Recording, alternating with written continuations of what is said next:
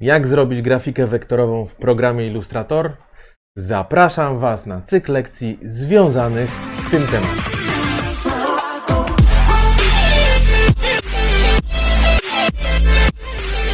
Cześć! Dzisiaj spróbujemy podjąć takie wyzwanie, jakim jest e, portret wektorowy.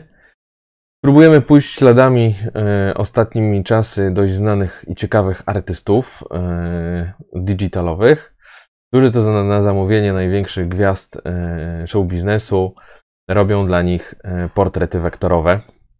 Myślę, że spróbujemy się tym zmieni, zmie, z tym zmierzyć. Mam nadzieję, że nam to wyjdzie. Także zapraszam. No więc spróbujmy zabrać się do pracy. Początek, jak się zastanawiałem, co dzisiaj z Wami zrobię, no to głównie będzie skupiony na tym, jak przygotować sobie miejsce do pracy. Ja już taki portret zrobiłem kiedyś. Polecimy tym samym sposobem, to znaczy użyjemy istniejącego już e, przeze mnie kiedyś zrobionego zdjęcia i spróbujemy sobie e, na nim to zrobić. No i teraz tak, założenia, jakie są? No po pierwsze, skoro chcemy zrobić portret, raczej niełatwo nam będzie narysować wszystkiego pamięci. I tutaj nie namawiam nikogo. Ważne jest to, żeby ten portret był podobny do siebie. Czyli mówiąc krótko, jak robimy w tym przypadku swój albo kogoś znajomego, no to musimy mieć jakiś wzór, jakiś e, powiedzmy mm, pierwowzór, na którym się oprzemy. W tym przypadku najlepiej sobie zrobić zdjęcie. E, może być dowolne, nie ma to żadnego znaczenia, jeżeli chodzi o to, jak bardzo ładni jesteśmy na tym zdjęciu. Dlatego będziemy robić portret, który i tak czy siak ulegnie dość dużej modyfikacji, jeżeli chodzi o to, jak my siebie, e, nie wiem, siebie albo kogoś widzimy. Wiadomo, że wszystkie niedoskonałości e, intuicyjnie człowiek, e, mając e, je na uwadze, po prostu je chce poprawić. No i w związku z tym myślę, że u nas będzie tak samo. Ja sobie przygotuję Słuchajcie, dokument na razie A4, ponieważ i tak zrobimy to w formacie e, i tak to zrobimy w formacie e, poziomym, myślę. E, w związku z tym sobie zróbmy A4. Zastanawiam się, jakie, jak, jak, jakie kolory zostawić. Może zrobimy RGB. Potem i tak czy siak trzeba będzie to zrobić od smyka. Ale o kolorach to kiedyś sobie jeszcze porozmawiamy. Dzisiaj na razie chcę mieć możliwość korzystania ze wszystkich kolorów. E, w RGB trochę inaczej się pewne rzeczy e, dzieją niż, e, niż w myku, więc trzeba o tym pamiętać. No dobra, zróbmy sobie dokument. Mamy mm, mm, to, co potrzebujemy. Ja już w tej chwili pracuję na tych ustawieniach, co Wam kiedyś mówiłem a propos kilku ekranów. W związku z tym część paneli u mnie już nie będzie widać nie będzie widocznych. Postaram się te panele, które najczęściej będę używał, żeby, żeby cały czas Wam pokazywać, które są.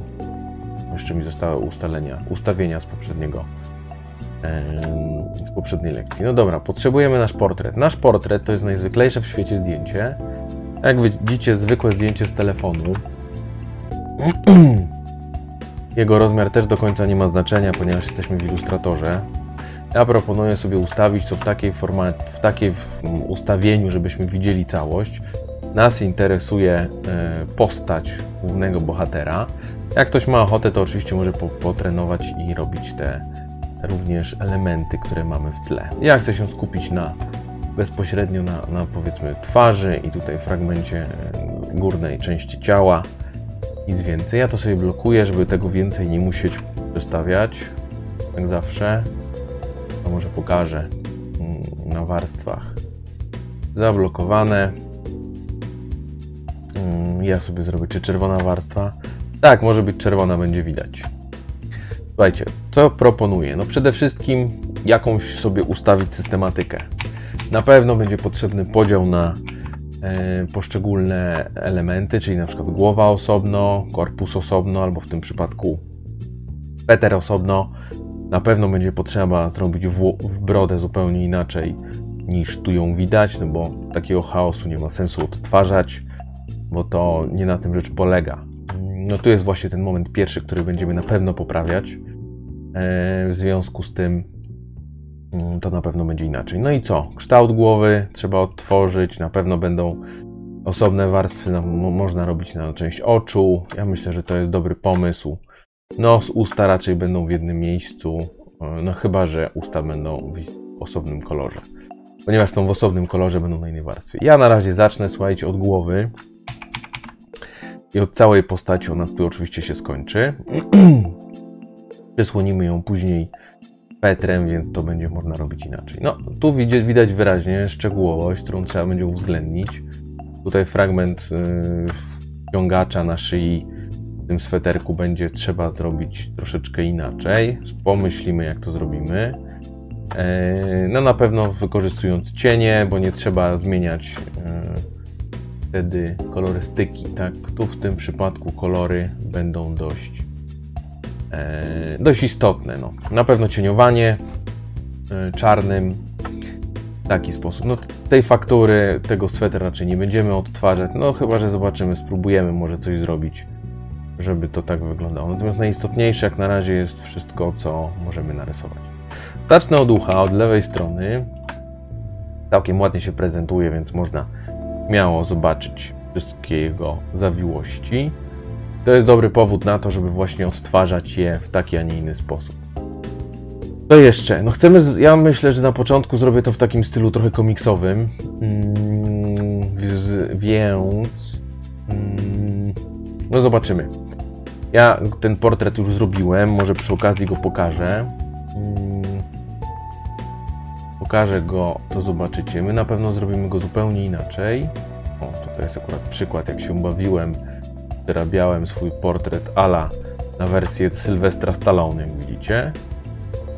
E, ponieważ zrobiłem tutaj jego kilkanaście wersji to jest powiedzmy jedno z moich podejść. Jak widzę tutaj wersja na tirowca z zapałką i w oksach. Oczywiście możemy je zgasić, nas to nie interesuje teraz. Zostaje wersja podstawowa, Zwróćcie uwagę na poziom detali, poziom szczegółowości. O, widzę, że nie mam błysków. Gdzie są błyski? O, tu są, właśnie. Czyli tego nie włączyłem. Tu jest cyberoko, zaślepka i tak dalej. No więc słuchajcie, co chciałem powiedzieć? O, cieniowanie, właśnie. Cieniowanie. Część rzeczy zrobiłem osobno. Tak mi wyszło to finalnie. My zrobimy troszeczkę inaczej, żeby nie powtarzać tego już. To jest takie cieniowanie, powiedzmy, naj, najzwyklejsze. Zwróćcie uwagę, że takimi plamami rysowałem obszary, które są e, ciemne, coraz ciemniejsze. Mogę je, jak widzicie, mm, zgasić. Zaraz znajdę. Twarz czarny, twarz cienie jest. Tak wygląda bez cieniowania. Tak wygląda z cieniowaniem. To są elementy czarne, czyli bardzo ciemne. Tu są oczy. Oczy, jak widzicie, mam osobno zrobione. E, one są chyba powinny być nad cieniami albo pod. No, za, o, teraz mi nieźle oczy się zrobiły jasne. W każdym razie, to chcę mm, powiedzieć. No, zależy mi na tym, żebyśmy spróbowali zrobić ten portret, yy, no przede wszystkim właśnie, żeby ćwicząc, tak? To chcę Wam jeszcze pokazać, jeżeli chodzi o konstrukcję tej wersji, bo my zrobimy ją troszeczkę inaczej, ale też idąc odrobinę yy, tą metodą. Szukam właśnie, błyski są tu, powinienem mieć jeszcze kontur. Kontur jest bardzo ważny, dlatego, bo ja go zrobiłem na osobnej warstwie. Zobaczcie, tak jest bez konturu. Tak jest y, rysowanie. O, widzę, że brwi, przepraszam, rzęsy zostawiłem nie w tym miejscu, co trzeba. Ale nieważne. W każdym razie, co chcę Wam pokazać, co chcę Wam przekazać. E, mianowicie to, że oczywiście rysowanie, tak jak ja tutaj pokazuję plamą, jest jak najbardziej możliwe, tylko że trzeba byłoby trochę inaczej to robić.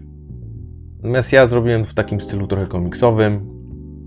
W związku z tym kontur, tak jak w tym przypadku, musi być osobno. Ale mnie wkurza, że te rzęsy zostały tutaj. Ale dobra, to już tego teraz nie odnajdę. Musiałbym pewnie w oczach to nie znaleźć. Tak, one są w oczach, dobra.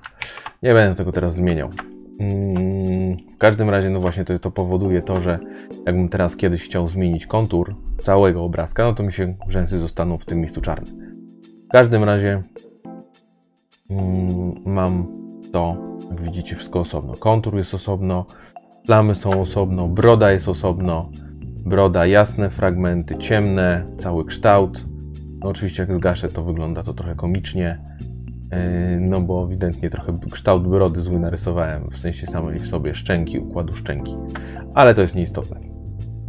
Finalnie te, ta grafika, ten portret wektorowy wygląda w taki oto sposób. Chciałem Wam pokazać szczegóły. Zobaczcie, budowę oka. Mm, No wiadomo, że ja nie mam takiego oka, tak? Natomiast tutaj pozwoliłem sobie na taką małą zabawę, żeby zrobić sobie go ładniej. Mogę go, mógłbym go zrobić jeszcze bardziej szczegółowo. Mógłbym zrobić jakieś żyłki, jakieś bajerki malutkie i tak dalej. E, Natomiast mi zależało na tym, żeby Wam pokazać, że e, no to nie jest idealne 100% odwzorowanie oka, jakie wyszło mi na zdjęcie, tylko to jest moja interpretacja. To jest moja wersja tego, jak ja mógłbym sobie wyobrazić to oko e, po swojemu, tak? To jest kształt brwi, lewej, prawej w tym przypadku, lewej, prawe, lewe oko, no w zależności z której strony patrzymy, tak? No i to tak wygląda, jakieś podkrążenia, cieniowania, kształt nosa, dziurka od nosa, ust, kształt ust, brody i tak dalej. Zwróćcie uwagę, że ja nie robiłem idealnie tak samo jak mm, w przypadku e, włosów e, na zdjęciu, które mamy tutaj, dlatego, bo na zdjęciu to jest kompletny chaos. Jak ja bym miał odtwarzać te kształty, te ruchy, to jest to, mija się z celem. Natomiast ja sobie pozwoliłem na narysowanie swojej własnej wersji, w związku z tym trochę tą brodę wygładziłem, trochę ją wy, wypiękniłem, trochę ją, jak widzicie, ostrzygłem.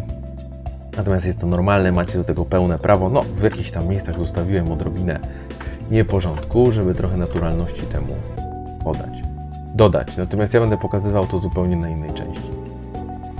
No i słuchajcie, to jest nasze zadanie. Chcemy osiągnąć przynajmniej taki efekt, taki, taki, takie rozwiązanie. Natomiast biorąc pod uwagę zmiany w ilustratorze, jakie się pojawiły ostatnio, no spróbujemy zrobić pewne rzeczy inaczej, na przykład cieniując, e, ale za pomocą gradientów.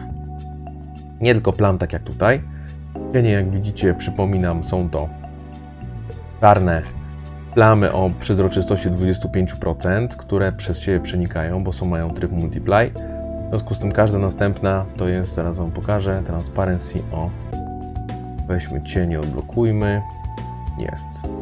20, 30%, 20, 30 i tak dalej. No i w zależności od tego, jak one się na siebie nakładają, no to mamy tutaj mamy dziesiątkę, następnie mamy dwudziestkę, a następnie mamy trzydziestkę i tak dalej. W związku z tym mamy coraz ciemniejsze stopniowanie. Wszystkie są w trybie multiply. A nie, normal są? Dlaczego są normal? Chyba, że ja na całej warstwie zrobiłem multiply. Jest, tak. Na całej warstwie jest multiply. Gdyby był normal, to by oczywiście te, te, te plamy wyglądały słabo. Natomiast można, tak jak ja tutaj zrobiłem, na całej warstwie zrobić multiply. Wtedy wszystkie obiekty na tej warstwie mają ten tryb. Znaczy jakby cała warstwa ma ten tryb, więc one przez się przenikają. I to jest najlepsze rozwiązanie. Podobna sytuacja jest tutaj w swetrze, gdzie jest sweter, sweter pod, sweter nad, sweter cienie jest.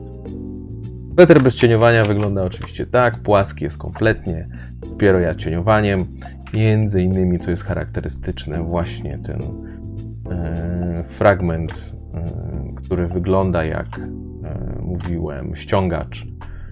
Cieniem właśnie nadałem mu taką jakby inną trochę fakturę. Natomiast jak widzicie, to jest tylko zabawa cieniowaniem. No tutaj na przykład cieniami nie, nie dorysowałem, więc będę musiał to poprawić. Natomiast to jest pierwsza wersja.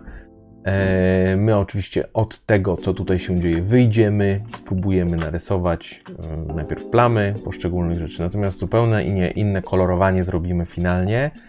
No właśnie ze względu na to, że Illustratorze pojawiły się nowe e, możliwości. Mam tu na myśli gradient.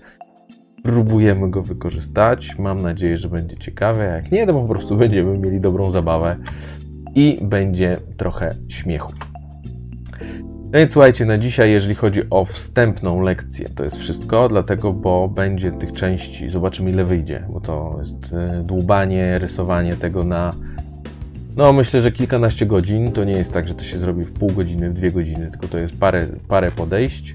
Z tego co pamiętam, ja ten obrazek robiłem około 3-4 dni, tak licząc po 3-4 godziny na każdy, no to na każde podejście, więcej, dłużej człowiek się, powiedzmy, no, czasami nie ma na to czasu. Eee, no więc tak myślę, że około 12 godzin to rysowałem. To, dokład, to te wszystkie elementy, no bo oczywiście brodę trzeba inaczej. Tak samo tu myślę, że podzielimy na 3-4 części. Tym razem dla odmiany będzie każda część osobno po tydzień. Nie wszystkie na raz, dlatego, bo samo nagrywanie zajmie mi dość sporo czasu.